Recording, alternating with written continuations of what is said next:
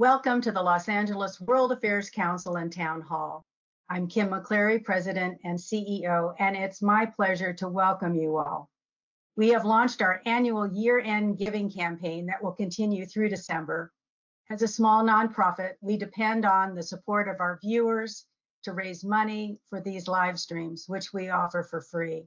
So please stay tuned for just a few minutes at the end of this program to find out how you can contribute. My staff and I greatly appreciate your support. Thank you. It's now my great pleasure to introduce today's program, a conversation with Congress member Karen Bass, moderated by politics professor Dan Schnur. We will be taking questions for today's program in about 25 minutes. There's a control panel on the right-hand side of your screen where you can type in your questions and we'll try to get to as many as possible. Today's introduction will be made by the Honorable Lorna Johnson, who is a member of our board of directors. She is also a renowned businesswoman, philanthropist, healthcare professional, and community advocate, and honorary consul general of Jamaica. Lorna, we are so appreciative of your participation and support on today's program. I also just want to do a shout out to all of our board of directors who help us every day through their commitment to our mission. We're looking forward to a terrific discussion, Lorna. I turn it over to you. Thank you so much. Thank you, Kim, for the wonderful introduction. It's truly an honor to be here with the group, and um, I'm looking forward to a great discussion with my friend, um, Congresswoman Karen Bass, an amazing woman. Um, she's been in the Senate for a while and fighting for us, and it's really exciting to um, share this space with her once again. Um, I've interviewed her a few times on my show, and it's been just awesome. So it's great to have her. Yes, Lorna, thank you so, so much. And Congresswoman Karen Bass, on behalf of the LA World Affairs Council Town Hall and our, all of our members, we're just thrilled to have you with us today. We know what a critical time this is in Washington and how busy you are. And the fact that you're willing to take some time to be with us for this conversation means a great deal to all of us. So thank you very, very much. I'm just sorry that uh, it can't be in person, but it's nice to be with Town Hall again. And it's also wonderful to see my dear friend, Lorna. Mm-hmm. Great well, to see you. Great we'll, to add, see you. we'll add this to the list of things that we've been forced to do by Zoom in 2020 that we'll hope to do in person in 2021. That's um, right. But my my first question, and I know you'd rather much rather talk about important matters of public policy, but Congresswoman, I'd be remiss if I didn't mention that today there are rallies taking place both in Los Angeles and Sacramento under the auspices of the very well respected advocacy organization, the Courage Campaign. Um, and they are advocating very loudly and very strongly for an African American woman to be appointed to the United States Senate seat that uh, Senator Kamala Harris is about to vacate when she becomes vice president. Um, I don't mean to put you on the spot, but our members would get very, very upset if I didn't ask you about the not just the speculation, but the extraordinarily broad base of support that has arisen on behalf of uh, your potential appointment to that seat and the number of calls and letters and emails that Governor Newsom is getting oh. ad, for advocating for you. So you indicated uh, over the weekend that that is a position you might be interested in. I wonder if you'd be willing to share more of your thoughts on this with our audience. Sure, absolutely. Well, uh, once again, thank you so much for having me on. And, and let me just say that um, what is happening is people understand the significance of there not being an African American woman in the US Senate. And as of as soon as um, Vice President Harris leaves, there will be one African American Democrat, one African American Republican, and that is it in the entire US Senate. So Cory Booker will be by himself.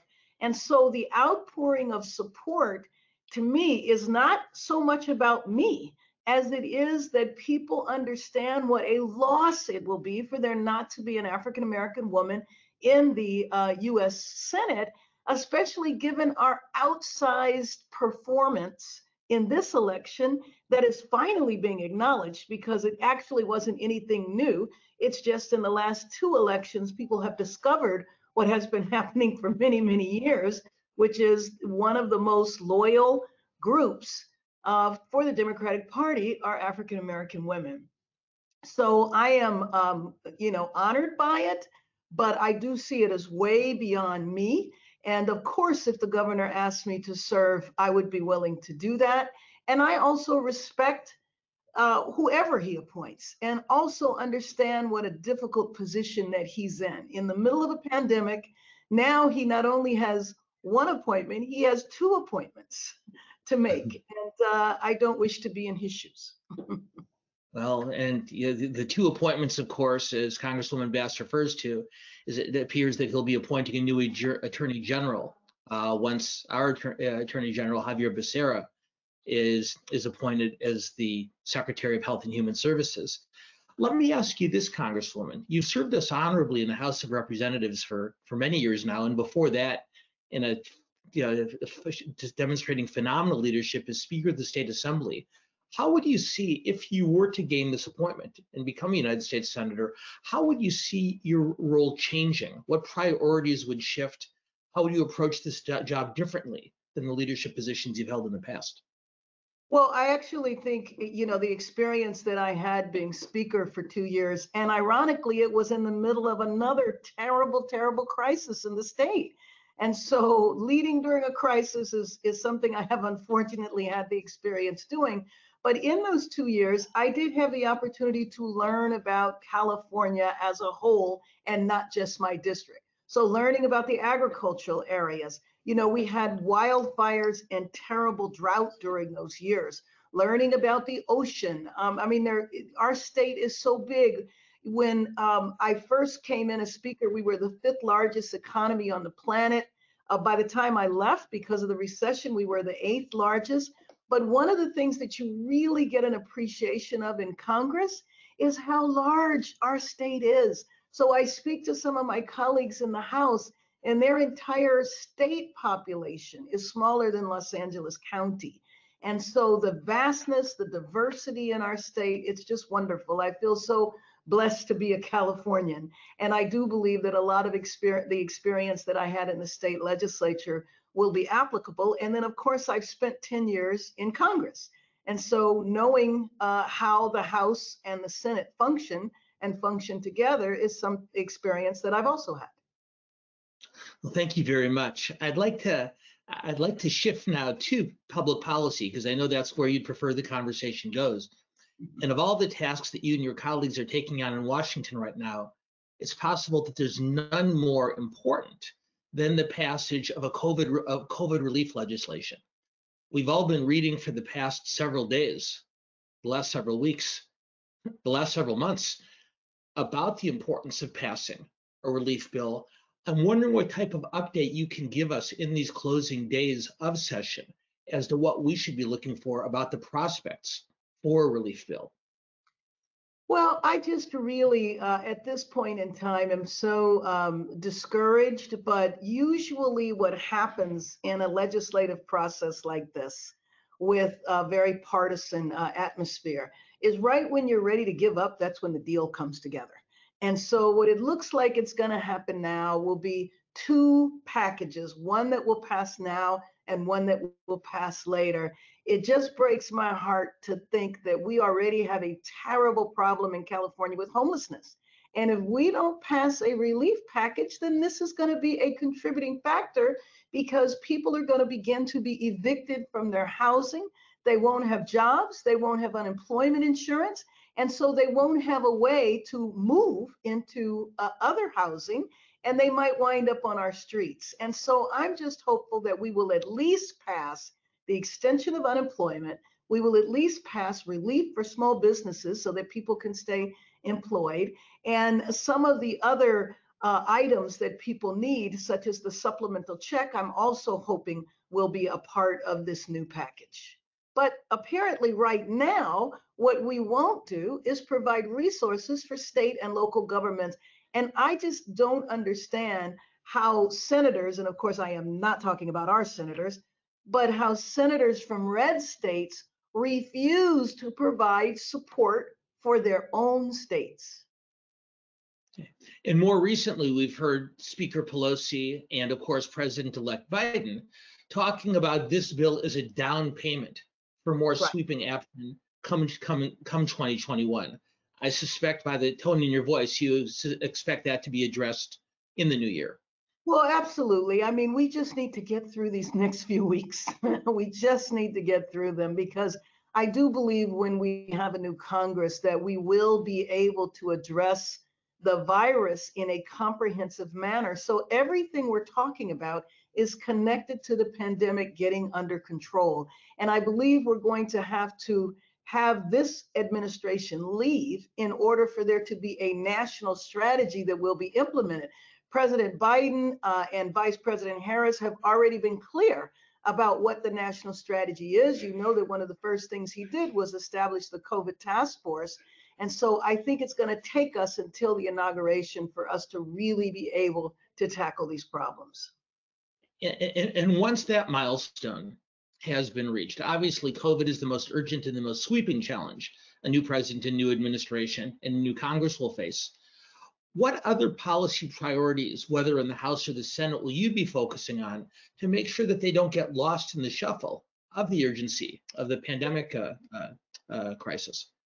Well, the other priorities uh, relate to the pandemic. So, for example, we have learned um, something that many people knew already, but that you have communities that are disproportionately impacted by COVID, health wise, social, and economic. Those communities have underlying health, social, and economic issues. Once the pandemic is under control, I'm hoping that we will be able to address those underlying issues so that the next time there is a crisis, these communities won't be hit so hard. Let me give you one example education. I am deeply concerned about our students because you know that in many schools, in many communities, there already is an achievement gap that existed before the pandemic. Well, those very schools, those very communities is where a number of the children will be disconnected from education for possibly an entire calendar year. So that achievement gap is going to expand tremendously. And so when things are back to normal, we need to not just do what we were doing before, we need to aggressively revamp education and pay attention to it, which is why I like when I hear President elect call for building back better. Not just do what we did before, but look at how we might be able to do things better. And then, of course, policing is high on my agenda and uh, the Affordable Care Act. I could go on and on. Well, I think you're, you're you're so right to raise education because normally in national politics it doesn't get the attention it deserves. You know, my my students, college students at UC Berkeley and at your alma mater of USC, um, have have struggled with exactly these challenges. I have some students who log on from their bedroom or their parents' study. I have others, you know, who drive and sitting outside of Starbucks or McDonald's late at night to get a Wi-Fi signal. And of course, in K through 12 education, the disparity is even greater. So you're exactly right to. Uh, Right, and just think about um, children in the primary grades, because there's this assumption that if you give a child or a young person the technology, that it's in their DNA and they'll be able to figure it out. Well, that doesn't apply to a six-year-old. And what about a six-year-old whose parents are essential workers and they can't sit there in front of the computer that they might not know how to work? And so the digital divide, the uh, achievement gap, all of that stuff is magnified during this pandemic. And so we have to think about that when life is more uh, back to normal. Well, we could spend the next 45 minutes just on that issue, given its import. But you also you mentioned it just in passing, and I want to come back to it. You remember the critical. You mentioned the critically important issue of criminal justice reform. And earlier mm-hmm. this year, we had Senator Tim Scott on this program, and we know how hard you worked and the leadership you showed to work with him and others in Congress in both parties to fashion criminal justice reform legislation. Can you talk a little bit about what the prospects you are for you see for progress on that front going forward? Sure. Well, I will tell you that everything depends on January 5th, and January 5th is the runoff election in Georgia. If we win both of those seats, if both of those seats are Democratic seats, and then there is an even split in the Senate, and uh, Vice President Harris can break the tie, then I will say that the George Floyd Justice and Policing Act will pass. If we don't ca- capture both of those seats, then I believe that we will do policing reform, but it will be much more uh, compromised. It will be much more uh, watered down. And I work with Senator Scott, and I know that he wants to get something done. So I'm convinced we will be able to get it done, but I want it to be transformative. I don't want it to just touch on the surface. Okay. So in addition to a, a myriad of public policy challenges, in just a few minutes, we'll go to questions from our audience that Lorna will help will will, will help shepherd for you. Um, Sure. But before we do, I also um, I do want to talk a little bit more about the president-elect. You talked about some of his policy priorities, but there's also all sorts of talk in Washington and Los Angeles and everywhere in between about the administration that he's building. And while for the most part he's received fairly very favorable reviews on his early cabinet appointments, there's also been some concerns voiced, some critical from critical constituencies in the Democratic Party um, about those appointments as well. I wonder if you'd be willing to give an assessment as to what you've seen so far from the president-elect's appointments, but what you hope to see and expect to see going forward. Well, what I hope to see and what I what I expect to see is that the president-elect will keep his word, and that is that the cabinet, his cabinet, will look like America. And I believe that he will hold to that. And I've been impressed by his appointments so far, the diversity. Now there's more appointments to go, and there's more diversity that's needed. Uh, but I think that we should give the administration time. But it is absolutely right for everybody to be active and to voice their concerns and to raise their questions because it does have an impact. But uh, I take him at his word, and I think that he has delivered so far and will continue to deliver. Not not to put you on the spot. Okay, maybe to put you on the spot a little bit.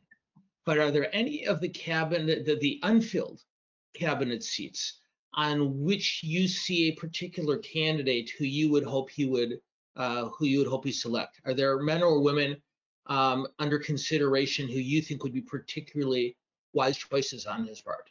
Uh, sure. And let me just tell you a, a little more formally, you're not putting me on the spot because in my capacity as chair of the Congressional Black Caucus, we are definitely putting forward names. Um, uh, for example, Patrick Gaspard for the uh, Secretary of Labor, uh, Phil Washington uh, for Secretary of Transportation. Now, there are other names floating for that position as well, and including our mayor. But uh, speaking from the uh, Congressional Black Caucus that's focusing on African American uh, appointments, and I'm sure that there are, many others, and we want to make sure that the ones that have been proposed do get confirmed as well. Right. Um, I'd like to, I'd like to go back to Congress for a minute. You talked a minute ago about the critical import of the Georgia runoff elections on January 5th. Mhm. But of course, the House of Representatives has an extremely narrow majority as Right. well. Um, how will that change? How will that much smaller uh, margin in the House, should you still be there, of course, how will that affect uh, your ability to get work done with such a smaller margin for error?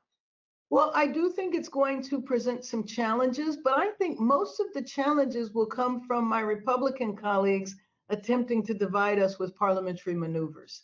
I think when it comes to key pieces of legislation, key bills like the stimulus, et cetera, I think Democrats will stand united and it will be okay. And the the, the speculation, um, uh, well, not just the speculation, but the reporting of some of the tensions that have emerged between more centrist and more progressive members of the caucus, you don't see that as being uh, a, diff- uh, a particularly difficult challenge, even with a smaller majority. No, well, I will tell you that just the example over the last couple of years, um, you know, the Democratic Party, as is always said, we have a big tent. And so not only do we have gender and racial and ethnic diversity, but we have political diversity. That's one of the things that the diversity is one of the things that makes us very different than the Republican Party. And so within the Legislative Black Caucus, for example, we have very progressive members and we have members that consider themselves conservative. But when it comes to the major pieces of legislation, you would be hard pressed to find where there was some big split. even our most progressive members that are referred to as the squad, if you looked at their legislative record, you know, with, with very few exceptions, they vote with the team. That doesn't mean that they don't have political positions that they express uh, apart from a particular piece of legislation. That tends to be what the news media picks up on. But when it comes to the day to day workings of the House, you don't find the splits and you don't find the um, differences in terms of it being hostile within the Democratic caucus. Okay. Well, I'm going to ask you just one final question, and then Lorna is going to come back happily and take over for me to make sure that you get to answer as many smart questions from our audience members as possible with the remaining time. But before we do, we've talked a lot about the future. Congresswoman, I'd like to talk for just a moment about your past, mm-hmm. because a lot of our audience members, while they know about your work in the House and your work in the Assembly, they don't know about your work before that, particularly the, the, the remarkable work you did founding the organization Community Coalition. And I'll admit, um, I'm a big admirer of the group. One of my all-star former students is now the COO there, and I brag about him pretty relentlessly. Wonderful. Um, we always like to say, no offense to any elected officials of either party, that politics is too important to be left solely to the politicians.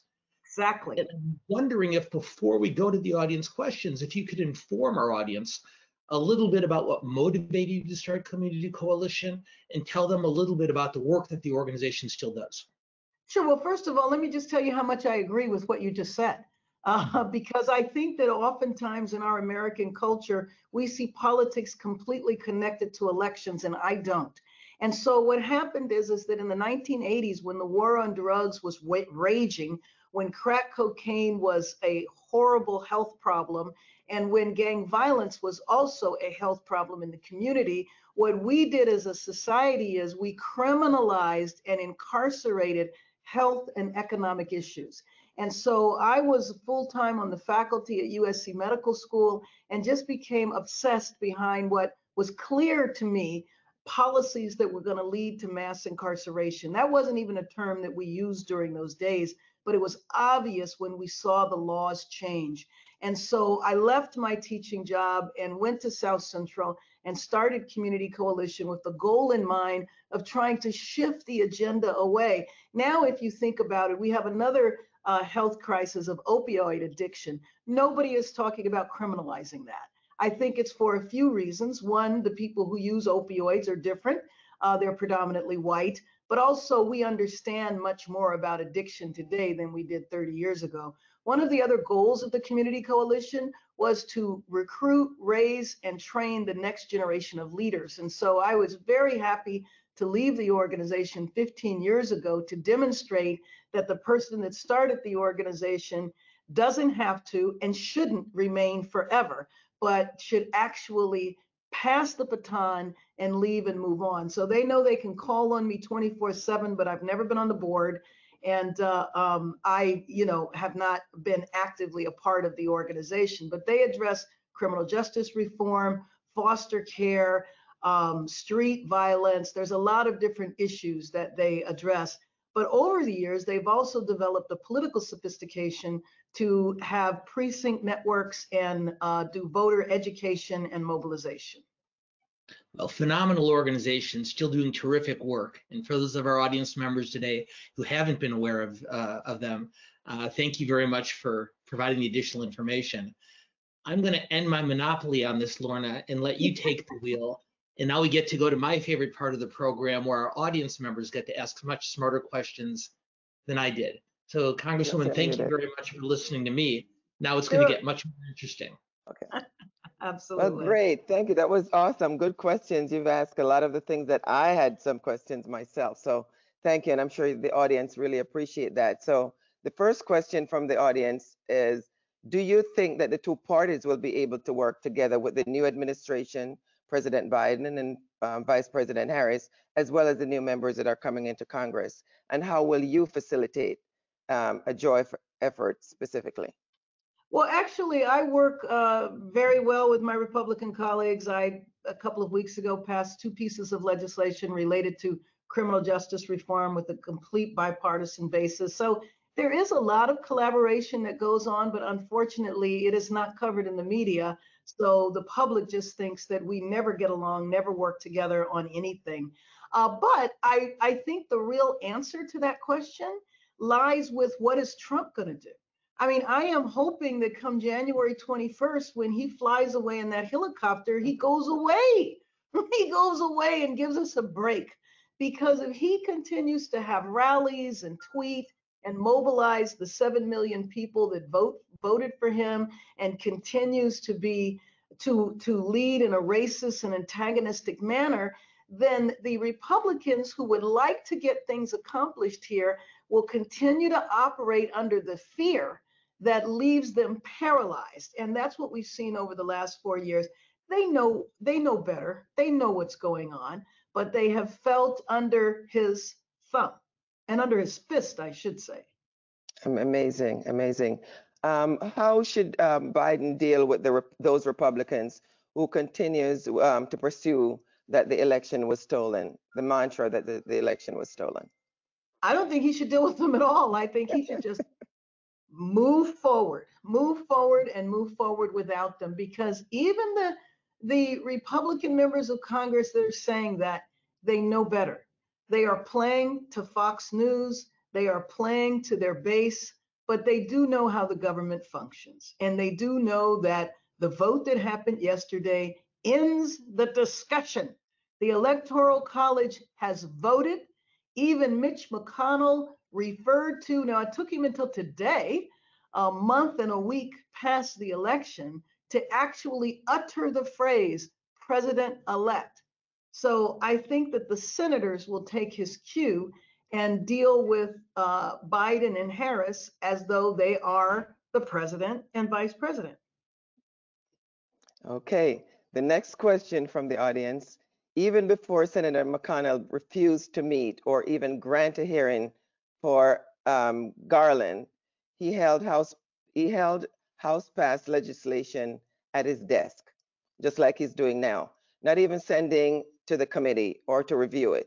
How do we overcome one man being able to block the urgency of business of our nation?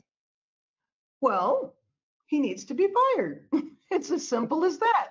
We we stopped this by turning out to vote in Georgia and electing two Democrats. Then Mitch McConnell will not have that power. If the Republicans win those seats, then Mitch McConnell will continue doing exactly what we see him doing.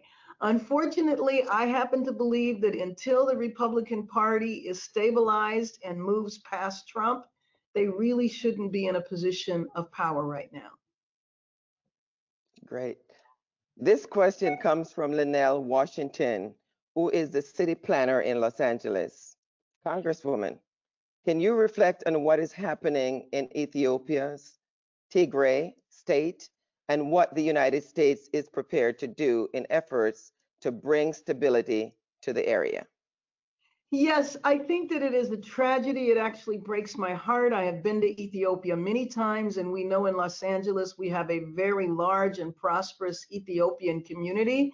And when the prime minister uh, took office a couple of years ago, one of the things that he did was he tried to break with the old regime, which was controlled by the ethnic group that you just mentioned, the Tigrays. They are a minority of Ethiopians, but they held power for several decades. And when the new prime minister came to town, he took their power away from them, and they essentially have been aggrieved ever since.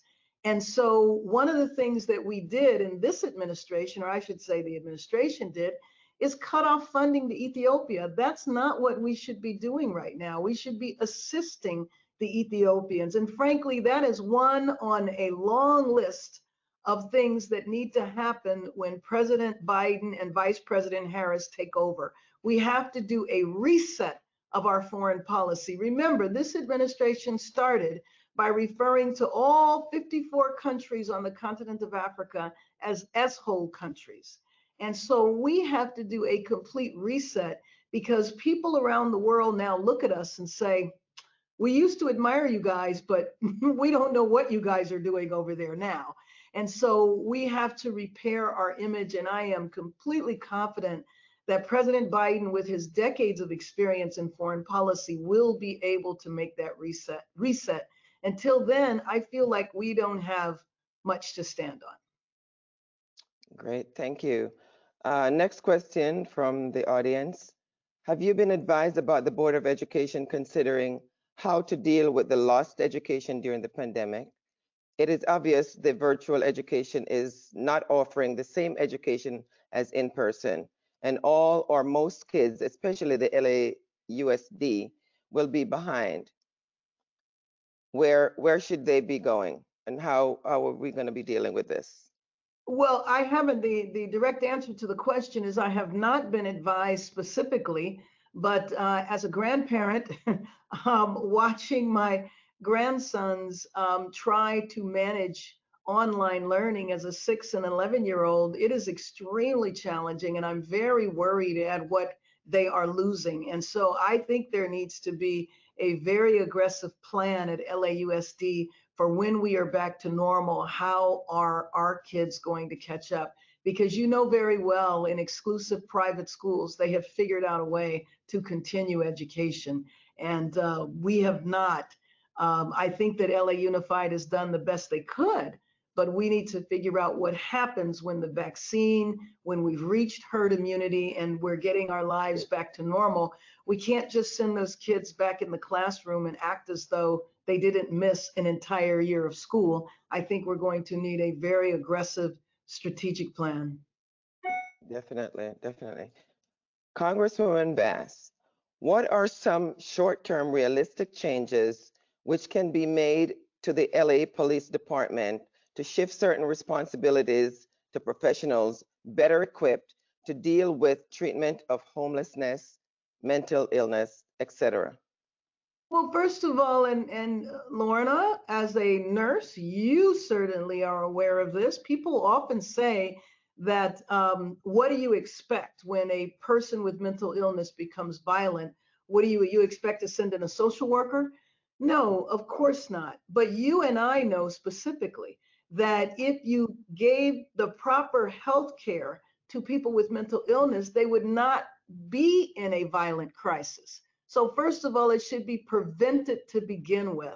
What we have done as a society is that we have defunded health, social, and economic programs. And when things fall through the cracks, we leave it to the police to pick up the pieces, which is why we have a jail in downtown LA called Twin Towers, which is known as the nation's most expensive uh, mental health institution. It is a crime in our country that we have essentially resorted to incarcerating people with health problems, a mental illness. That has been our solution as a society. And I think that is one of the biggest issues that police departments have to deal with. But a lot of the problems that we have in our communities is because we have not chosen to prevent things that are very preventable. And then when something happens, we leave it to the police to clean up. Great, thank you for that answer. Uh, what will uh, success look like at the end of the first um, Biden administration, in your view? A pandemic that has gone away. It, it will be a memory of what life used to be like when we had to wear masks. A prosperous economy, a nation that has a much higher awareness of inequality, inequity, and racial um, racial issues and maybe even some solutions to some of the structural discrimination that takes place. So when President elect calls for building America back better, we know that President Trump uh, selected secretaries for the agencies who were given a mission to go in and essentially destroy the agencies. So not only is President Biden going to have to rebuild the Department of Justice, the Department of Health, the Environmental Protection Agency, the Department of Education, but it's an opportunity to examine those agencies for structural discrimination, structural inequality, repair that, and build the agencies back better. That's what I would like to see at the end of a first term. Okay, and the next question from an audience is what is the next big step in the battle for social justice? Uh, I, I mean, you know, I, I am just so singularly focused on COVID. That is the next step in the battle for social justice. And that is that we have communities that are disproportionately impacted health wise, economically, and socially. That has to be rectified. I see that as the fight that is right in front of us right now. And we have to address that. Then afterwards, we can address the underlying health, social, and economic issues that these communities suffer from. And that goes leads right into the next question. What should be what should we be doing to begin seriously addressing the racial wealth gap? Well, there's the racial wealth gap, and then there's you know structural racism. I, I really feel that in our country, we have never in 240 plus years been able to have a serious discussion about race. For the most part, you have half of the country that says there's no problem at all. You can't begin to address the problem that you do not admit exists. So, a parallel to that are those people who say that COVID is a hoax, that there's no pandemic. So, if you apply that kind of thinking to race, how can we ever deal with it if you can't say that there is a problem?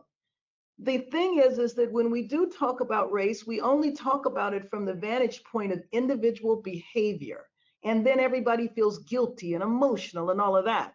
If we talked about it from a systemic perspective and say, and say, let's examine the education system. Where is there inequity? Where are there structural barriers? Let's examine the healthcare system. Let's examine the justice system. Let's examine housing. Let's examine jobs. In each of those categories, there are structural barriers that have historically left populations behind. That's nothing anyone should feel guilty about. Let's examine what those barriers are and remove them. All of us as a society benefits. So the issue of racial inequity is not a black issue or a brown issue. It is an issue of all of us. All of us would do better if we could address racism, if we could address poverty. That lifts up the entire nation. Awesome. Well, um, the audience seems to want to give a lending hand here. Congresswoman Bass, what action do you suggest that we in the audience take to help you pass relief before Congress recesses. What do I look for? How can they help you? How can the audience help you? What can we do as an audience to make sure you get this relief passed in Congress? It's Christmas time. I guess folks need needs help, and um, it seemed like it's been played around in Congress for a long time. What can the public do to press this and make sure they get some help by the, before Christmas? McConnell, McConnell, McConnell, McConnell. We will pass it out of the House. That is not the issue. The issue is whether or not the head of the Senate will allow it to come up. And so you can certainly call his office in DC, you can call his office in Kentucky, but you need to express your absolute outrage at the fact that we have not acted. You know, in the House, we have acted more than once. The first bill that we passed was over six months ago, and it is still sitting on Mitch McConnell's desk. Then we passed another bill about three months ago. Both of those bills are sitting on his desk. Now there is a proposal for another bill. So I'm confident that the bills will pass the House. Where things stall is in the Senate. Great. Yep. Um, that is so true. You have been in support of Africa uh, under the Trump administration, and as president, uh, presently the Congressional Black Caucus chair. What do you see is possible with the new administration, Well, especially regarding the increase in trade with minorities and Africa, um, African American businesses in the U.S. and Africa? Well, well, first and foremost, I want to say that uh, President Biden and Vice President Harris respect the continent of Africa. That's first and foremost. And so I know that they will remove some of the barriers that the Trump administration has put up. For example, the Muslim ban. He has blocked uh, visas from certain African countries. Lorna, I was in Sudan uh, at the end of last year. And I was there because they have a new government and they were really looking to reestablish and build their relationship with the United States. And I was over there in support of the Trump administration's policies at the time. But while I was there talking to government leaders, breaking news President Trump now bans people from Sudan coming to the United States. So, stabilizing policy in every category, whether you're talking about domestic or foreign policy, stabilizing it so that people around the world can trust us again. So, you can imagine how ridiculous I looked sitting over there talking about US policy towards Sudan, and US policy towards Sudan changed by tweet while I was sitting in a meeting. Yes. So Okay. Biden has many decades of history of working around the world. He is respected and trusted by international leaders. And so I feel confident that we will be able to right this ship. I just wish it would be tomorrow. Guess many of us feel the same way. Given the makeup of the Supreme Court and the likely Senate composition, what will be the changes changes of passing an aggressive plan to reduce carbon emissions? Well, if if the makeup of the Senate is majority Republican, there will not be um, good climate policy. Now, the Biden administration is going to do everything they can by executive order, but they can't do everything by executive order. They need legislative authority. They need appropriations. And so that will be the limitation. And people will be very disappointed that we do not aggressively address uh, climate change. And so for all of those people that will be very disappointed that we're not able to do it, I hope you're phone banking into Georgia. And you can go to helpgeorgiawin.com. You can Google Stacey Abrams because she is leading the way. You can phone bank from anywhere in the country into Georgia. So if you're concerned about climate and Congress being able to get something done, you have a role to play. You can participate. Help us win those two seats. You know, okay. Uh, I know you've worked a lot with foster children, so this is a good question for you from the audience again. What is the most important reform needed to support California's foster foster children?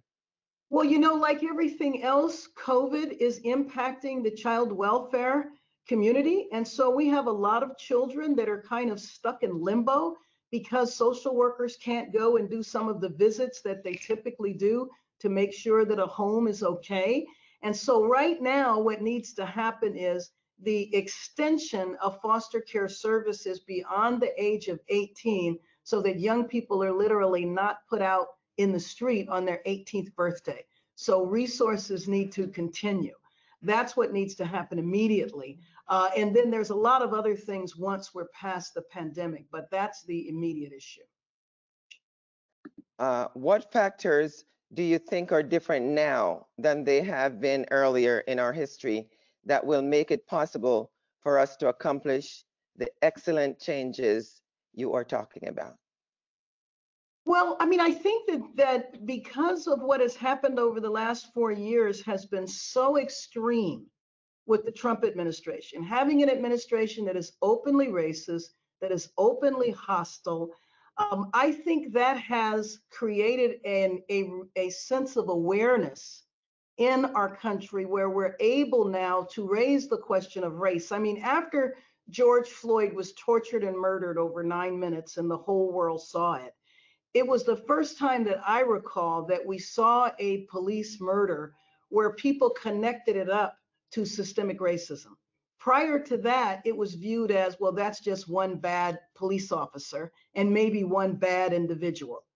People understood it as a bigger question. People understand now immigration differently. People understand dreamers. People understand the environment because we have spent four years with a president who has assaulted us multiple times a day through tweets and through policy that actually hurts communities that I think that has raised the level of awareness of people. And I think that provides a basis for us to solve some of these problems. Okay. Next question is Biden has been criticized for so many appointments of the old guard people. Don't it make sense, though, to have the team who have an institutional memory it will take to repair the radical changes brought about by the current administration's erosion of career employees and radical changes in mission of so many agencies? I think that's absolutely correct. I mean, I I'm fearful for the cabinet secretaries because when they get the keys to their offices for, at these agencies, it's no telling what they're going to find. I mean, one thing I know for a fact is that in many of the agencies, there's been a mass exodus of people. And so they're going to have to go in and essentially rebuild these agencies. And so the idea that um, the president elect is relying on people with experience is a good thing. We need to have normalcy. We need to remember how a president is supposed to behave because we, I think, normalize the chaotic behavior that we have seen over the last four years. And I am so looking forward to a president that the world looks up to as opposed to makes fun of um, that we go back to being the country that we were four years prior. Definitely. And I think we just need to have a little patience and and see where things go. I think he's doing a great job with the appointment. So we just need to be patient, but at the same time, keep your feet to the pedal and let your representative know what you need. So keep your feet on the pedal. Uh, next question. Can you comment on how the Democrats will work with the more progressive members of Congress. For example, the squad. Mm-hmm. Are these um, policies, are there policies of theirs that you support and would like to see come before the House? Sure. Uh, we agree on lots of different policies and have worked well together. Uh, there's some policies that they push that I feel are more aspirational. It's not that I would disagree with them. It's just that I don't know that they could take place tomorrow. But, um, you know, I think that you see a lot of the uh, press talking about the differences in the Democratic Party now, but I, I don't see it playing out to it being very divisive. Um, you see the the four women that are referred to as the squad. If you review their voting records, you will see that 90% of the time, if not more, we're all voting together. Okay, next question. Um, there has been a focus on African American representation in California leadership, but I'm concerned that the Latinx population is not represented either. Can you right. comment on how the balanced representation in our state? Well, absolutely. And I would agree with that. We need to make sure that everyone is represented. And so, unfortunately, one of the flaws of our system is that a state with 40 million people only has two senators, and a state with 600,000 people has two senators. Because I absolutely agree that there needs to be representation in the Senate. Now, I think that you will see that there is strong representation from the Latinx community in the House of Representatives because the House on the Democratic side really reflects the US population. That is not the case on the Republican side. Okay. Next year, will Congress finally fix the Electoral College? No. we won't, because to change the Electoral College requires a constitutional amendment. And as I just described, we have states that have populations under a million, and we have states like California with 40 million. Well, those states with smaller populations would feel that they would be disadvantaged if there was a change in the Electoral College. So, given that for the last, let's see, 38, 39 years, we've not been able to pass a constitutional amendment for equal rights for women, I don't think we're getting ready to get rid of the Electoral College. Okay. How do you get voters out in 2022 without a Trump to vote against? Well, uh, you know what? I think that that is work that all of us can participate in, and that is not work that should just be left to elected officials. All of us can be involved in that. I started a group called Sea Change, And uh, what Sea Change does is goes out now and does voter education in preparation of the election in 2022. We need to talk to voters and we need to engage them and stay connected to them so that they don't develop the behavior of just voting in presidential elections. One of the things that we suffer from in our society and our American culture is that we're very apolitical. We can tell you about the celebrities, about the athletic teams. We know all of that information, but we don't have any idea what a member of Congress is supposed to do. So in my district, now part of my district is very affluent, very well educated. Part of my district is the inner city. It doesn't matter what side of the district I'm on. If I have a town hall, I have to spend the first 20 minutes explaining that I am not in city council. Right, okay. Well, we're getting ready to wrap it up, but give have the last question here for you. Um, let's see. Do you think there is any chance that Congress will be able to enact comprehensive immigration reform? What do you think should be major the major element of such legislation? Well, let me just say once again, everything rests on January 5th. If we do not take those Senate seats, there is not a chance, I don't believe, that we would pass comprehensive immigration reform. But having said that, I must tell you that I have just been obsessed behind the kidnapping and abuse of these children.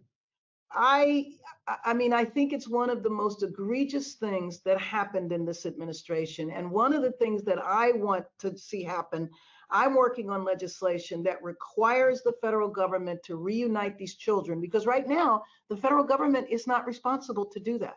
I think we need to reunite these children. I think the families need to be granted asylum I think that the families need to be paid punitive damages because the damages that were done to these children can be lifelong.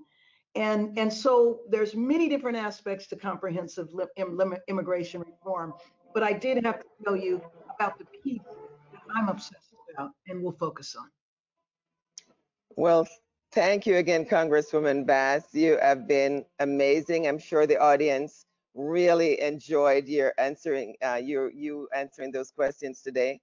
And um, I, to the audience, I want to thank you for tuning in and um, and for those amazing questions. And I want to wish to all of you a happy holiday. And I will now turn it back over to my colleague and board member, Dan Schnur. Uh, well, thank you, Lorna. Thank you for not just for your leader, not just for steering us through a fascinating conversation with the Congresswoman, but for your leadership on our board and in our community. So thank you very, very much. Thank you. Congresswoman Bass, because we have a couple minutes left, there's one other question that came to mind, and I hope you'll indulge me before we uh, let you get away. Um, we were talking extensively earlier, appropriately, um, about the challenge of COVID-19. And of mm -hmm. course, as all of our audience knows, and uh, just yesterday, we began to see the first exciting, inspirational, heartwarming sights of some of our frontline healthcare workers being vaccinated. Now, obviously, there's a lot of months ahead before we all have that uh, uh, have that uh, opportunity. But we're seeing public opinion polling showing very large numbers of our fellow Americans who don't trust the vaccine. Right. Some of them are conservative voters who've you know you know heard from those who share their ideological convictions. But we also see uh, a very large number of uh, Americans in communities of color who are understandably suspicious of the vaccine. I'm wondering if what you what you can tell us about what Congress can do and will do to make sure that those communities understand the importance of uh, of using the vaccine. Well, first of all, I think this is a problem that can absolutely positively be addressed. It is most important that the vaccine be separated from this administration. How on earth could the African American and Latino community accept anything that is viewed as coming out of the Trump administration? And so I am was very because frankly, I felt the same way when I saw that the vaccine was being rushed, when I saw that he wanted to have it done before the election, then that certainly raised my suspicions as well. But one of the things that has been very clear over the last month is that the scientists have separated themselves from the administration. So this vaccine is not political. It will be safe. By the time it is ready for the general public, millions of people will have had this vaccine. But here is the way we solve that problem. Congress, state governments, county governments need to give money to community-based organizations who are trusted messengers.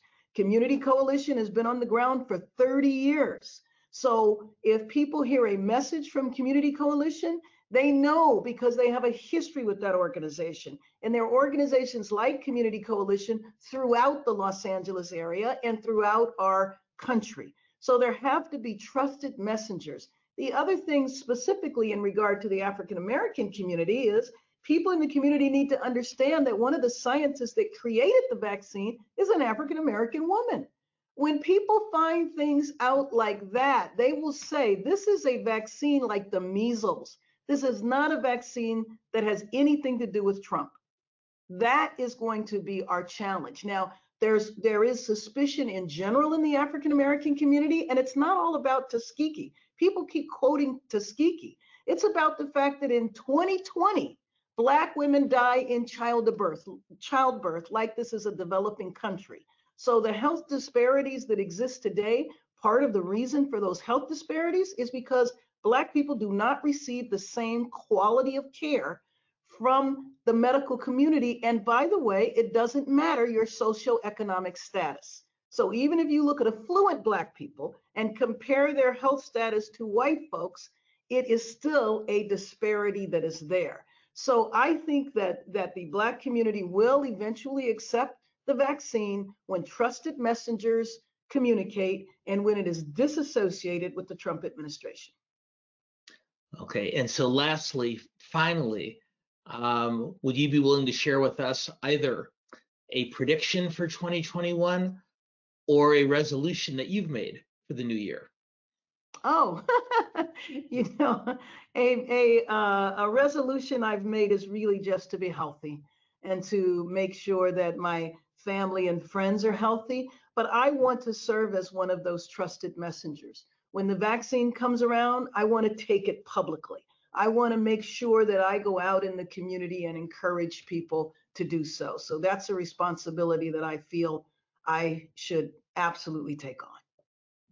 Well, over the over the course of the year, or at least the several months since the pandemic shut down the LA World Affairs Council town halls in-person meetings and has found and has you know, led to our online conversations instead.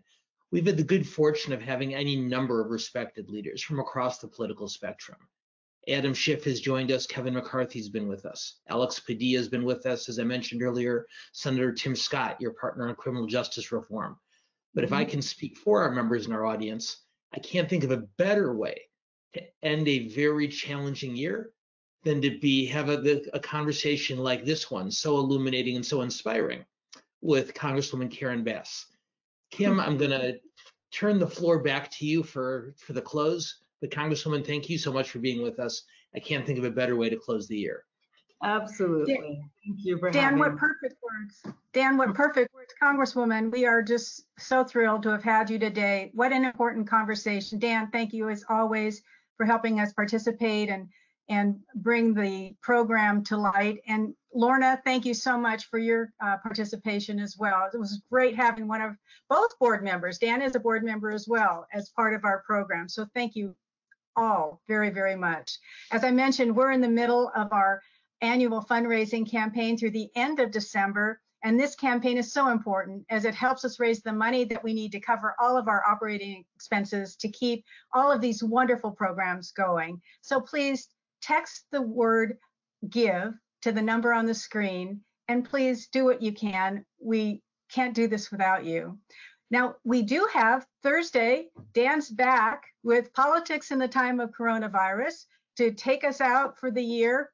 And afterwards, we have a, uh, great discussion with him privately with our members who can, can ask uh, questions directly of Dan uh, of him. And this is a great uh, benefit for our members. So maybe become become consider becoming a member. So just go to our website at lawacth.org become a member, make a donation, register for programs. We, everybody, please stay safe, stay informed, and we'll see you Thursday.